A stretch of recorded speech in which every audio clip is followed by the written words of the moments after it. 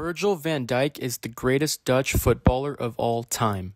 Nah, I'm just kidding. He doesn't even make it into the all time 11. Let's get into this though, and we'll see what the best Dutch all time starting 11 would be. Okay, before we jump into the video, I've noticed that most of you guys are not subscribed. So please take a second and please, please hit that subscribe button, turn on notifications whenever I post a new video. It would mean the world to me if you did. I appreciate you guys' support so much, and it would mean the world if you guys continue to help out. Anyways, please enjoy the video. Just to preface this, a lot of these players are going to be coming from the time when Ajax was dominating European football in the 1970s, and the Netherlands national team was absolutely incredible. And they had gone to two World Cup finals in 1974 and 1978. So most of these players are going to be from that era. We're going to put them into a 4 1 2 1 2 formation, and let's get into it. At goalkeeper, we have the Ajax and Manchester United legend Edwin van der Sar, the ultimate example of hard work. He started as a young man at Ajax, won 14 major trophies, including a Champions League in 1995, and then finessed his way up into being the CEO of the entire club.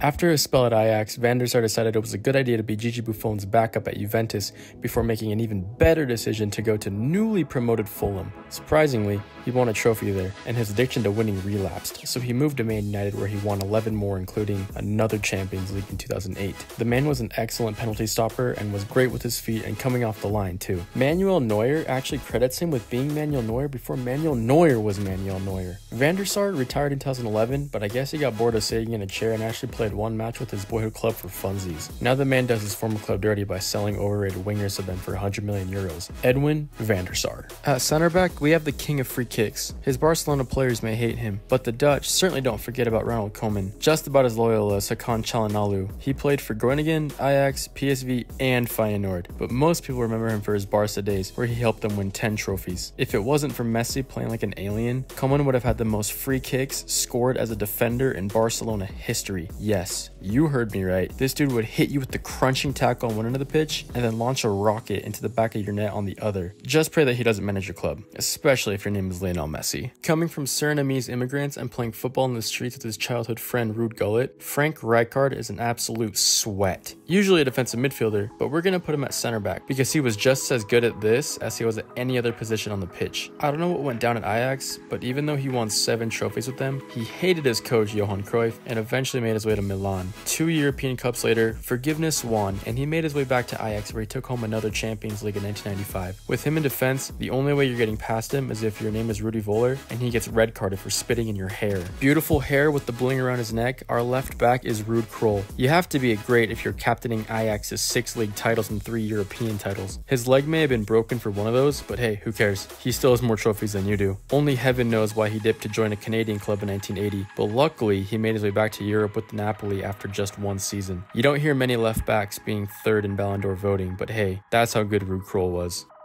On the right side, we got Wim Suurbier, another member of the famed Ajax 12 Apostles that won three European Cups in a row. Tack on two World Cup finals, he's regarded as the best right back in Dutch history. Known for his pace and stamina, those two attributes didn't seem to stick though as he fell in love with California and moved there to play for multiple different indoor soccer teams. Rest in peace to the Dutch legend. Willem van Hanegem will be the defensive midfielder for our team, nicknamed the Crooked because he was fantastic with passing the ball with the outside of his foot. Pretty cool name until you realize that he was also bow-legged and couldn't run fast at all. Mainly known for his days at Feyenoord, he helped them win their only European Cup in 1970 before bouncing around to other various teams in the Netherlands and even in Chicago. A very physical player to have in your squad, especially if you're playing against Germany because this man did not hold back on his hatred for the Germans due to World War II.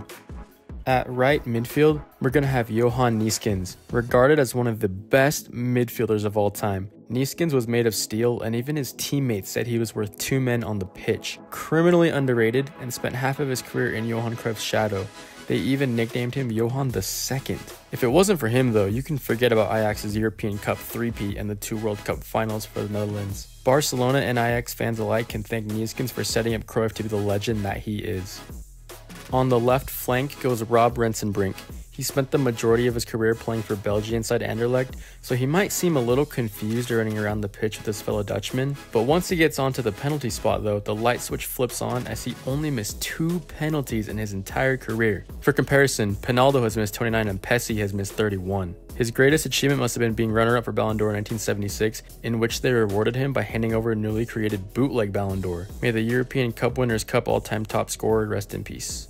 Our attacking midfielder is none other than the 1987 Ballon d'Or winner Ruud Gullit. This second generation Surinamese Dutchman was on top wherever he went. He took second division side HFC Haarlem back into the top flight and even qualified them for Europe the next year. He then moved to Feyenoord and was Dutch Footballer of the Year before dipping out due to racism. At PSV, he was named Dutch Footballer of the Year once again, which actually made Feyenoord pretty mad, so you can add Gold Digger to the list of chants that yelled at him. Sick of the racism, he decided to go to an even more racist league by joining AC Milan for a world record transfer fee. Two European Cups are worth it though, I guess, because he stayed there for a while before moving on to Sampdoria to win the Coppa Italia. His final challenge included being not just a player, but the manager too, and leading Chelsea to win their first trophy in 26 years. Tack on a Euro title with the Netherlands in 1988, this man could play any position and win any trophy he wanted. Marco van Basten, the biggest what if in football three Ballon d'Ors before retiring at the age of 28 due to injury, who knows what ceiling this striker had. The 16 year old Ajax kid led Europe in scoring multiple years in a row before moving on to win 10 trophies at AC Milan. Legends everywhere claim Van Basten as the most complete striker they had ever seen. The only weakness he had was that he had the ankles of Steph Curry. He must have ruined the referee's parlays one too many times too because sliding challenges without punishment is what eventually led to the injury riddled short career of this bicycle kicking genius.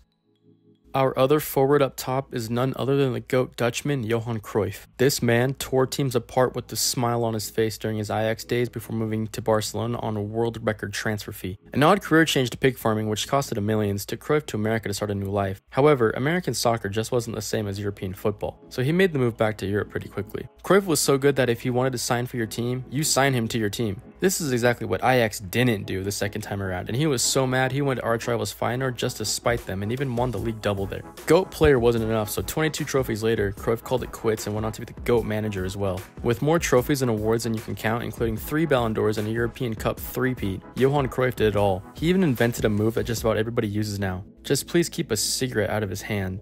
Rest in peace to number 14. And lastly, our super sub has to be Piet Keizer. a one club man at Ajax. The left winger won everything there was to win. Dutch journalists even said, Cruyff is the best, but Kaiser is the better one. Enough said.